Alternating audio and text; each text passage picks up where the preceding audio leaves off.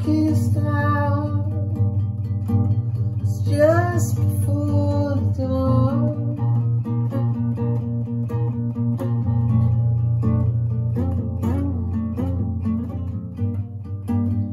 Get to see it,